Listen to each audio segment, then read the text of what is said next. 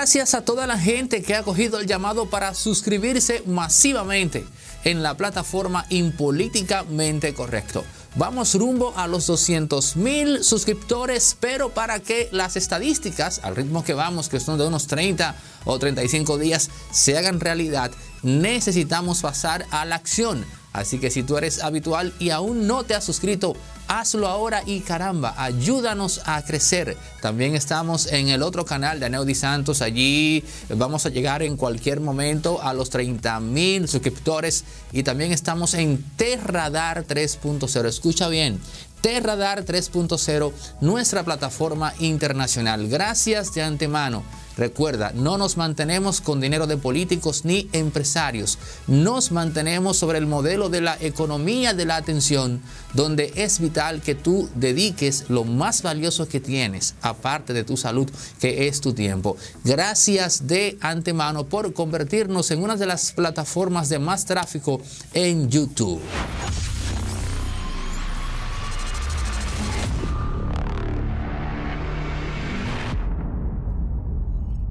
El PLD está pasando por un muy mal momento.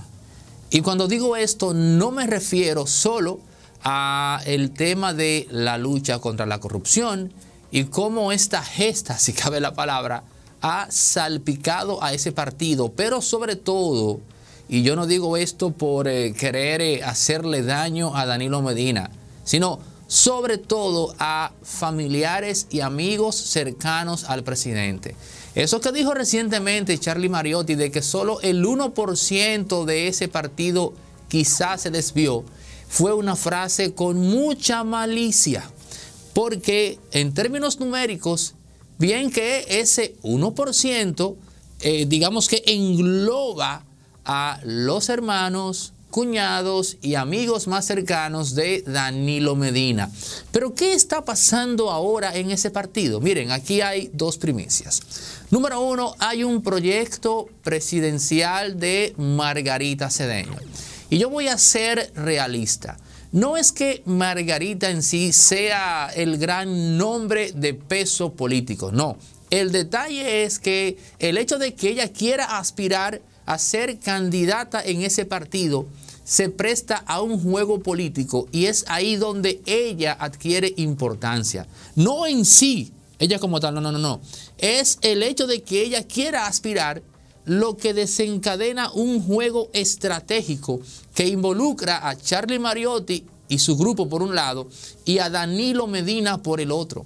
Pero en esa misma línea, otra revelación es que ya en el PLD hay otro grupito que sí o sí está dispuesto a pactar con el expresidente Leonel Fernández. Luego de reveladas estas dos primicias, vámonos con el análisis en el juego de poder e intereses de la política dominicana, pero sobre todo en el PLD. ¿Por qué llama la atención Margarita Cedeño?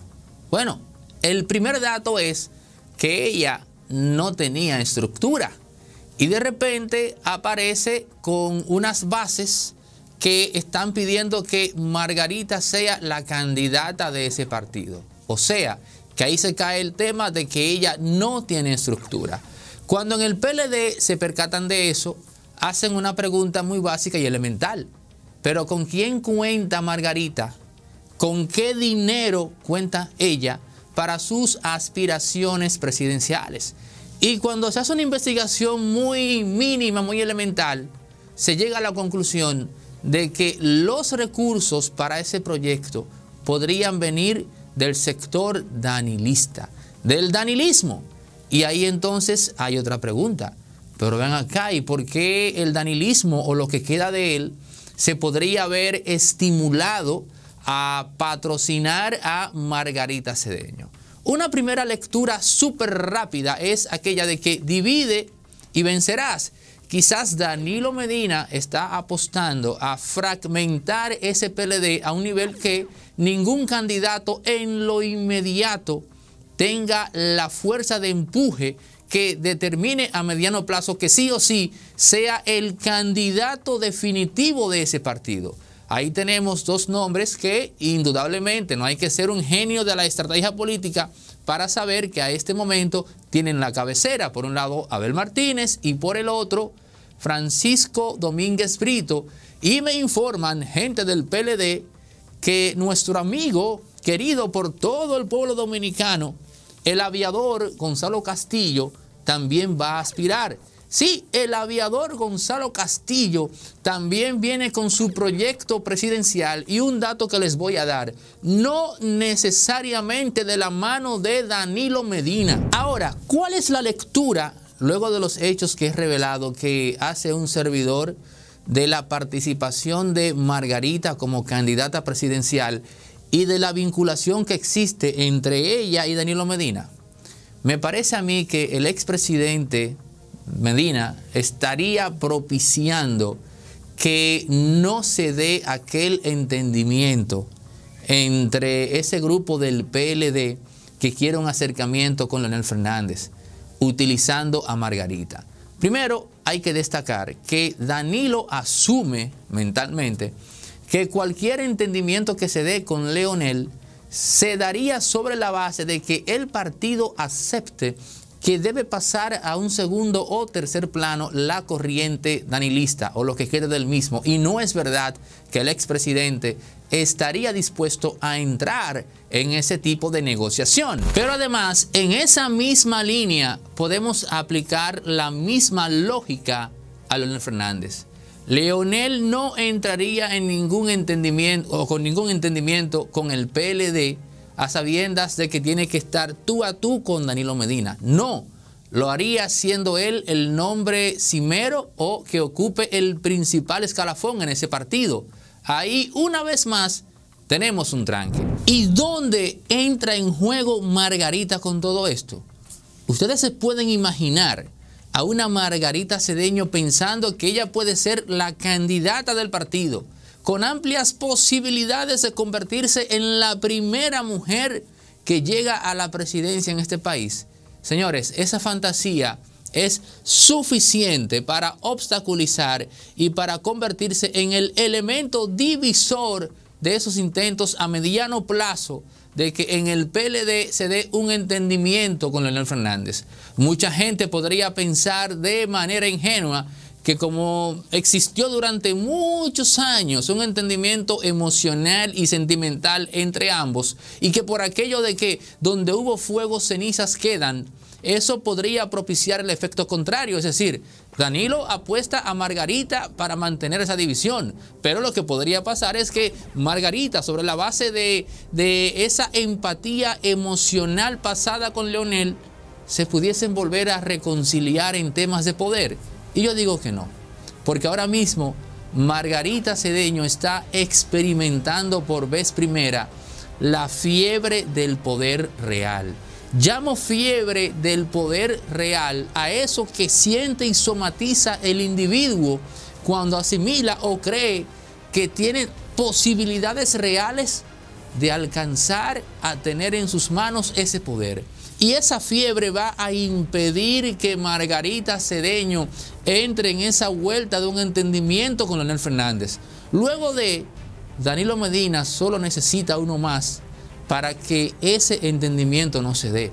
Por eso es que es importante ese proyecto presidencial de Margarita Cedeño para mantener al PLD dividido internamente y que no se dé, que no se concretice ese entendimiento con Leonel Fernández que un grupo de ese partido estaría dispuesto a hacer sacrificando a Danilo Medina, cosa que evidentemente el expresidente no anhela, no quiere, no apetece. Y ahí tenemos la explicación de cómo surge en cuestión de días, de manera sorpresiva, entre comillas, un proyecto presidencial de Margarita Cedeño.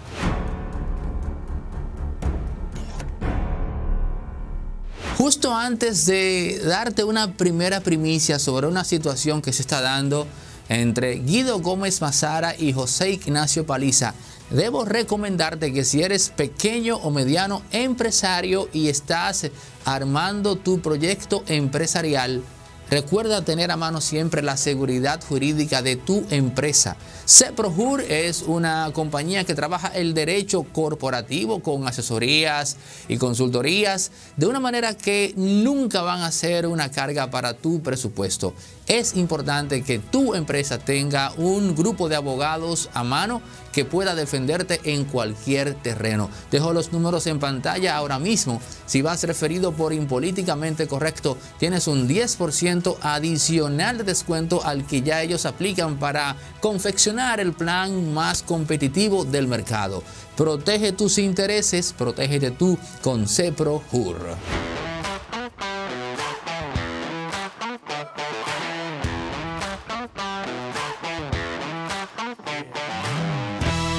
Miren, no quería culminar este capítulo sin dejarles, digamos, una primicia que vamos a extender luego en un capítulo.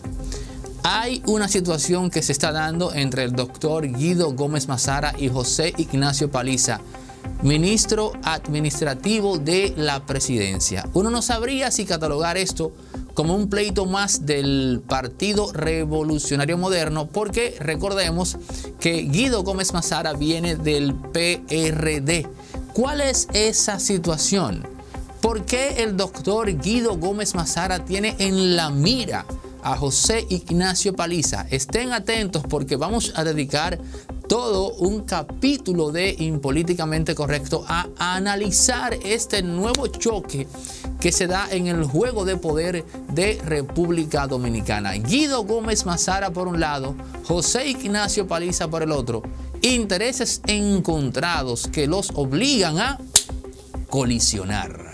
Tengo que dar gracias a todas las plataformas que difunden de manera adicional impolíticamente correcto. Por ejemplo, en La Romana tenemos a Romana TV para toda esa región del este, en especial también Higüey también estamos en www.tvhispanic.com. Todos los dominicanos esparcidos por el mundo pueden entrar en contacto no solo con nosotros, sino con colegas que están haciendo un excelente trabajo, una labor ardua para mantener al dominicano en el exterior no solo informados, no, no, no, sino también activar el filtro crítico, que para mí es mucho más importante que la mera información. Eso es gracias a www.tvhispanic.com y no puedo olvidar a la diáspora en Estados Unidos que se mantiene en contacto a través del trabajo que hace Eddie Olivo de www.controlandoelegido.com. Se escribe con J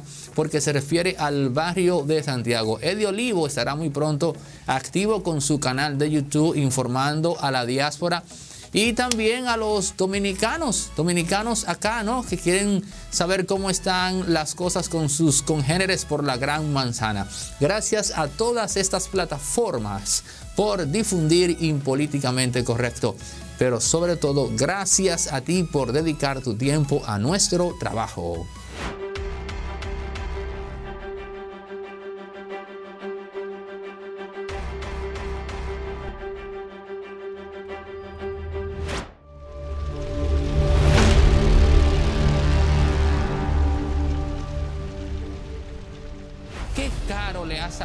Este lío de Danilo Medina y Leonel Fernández a este país. ¡Qué caro! Por un lío tenemos que pagar 11 millones de pendejos. Danilo, dime de Gonzalo. ¿Qué tú vas a hacer con Gonzalo Castillo? Porque se supone que si el PLD está fuera del poder, el líder de la oposición vas a pasar a ser tú.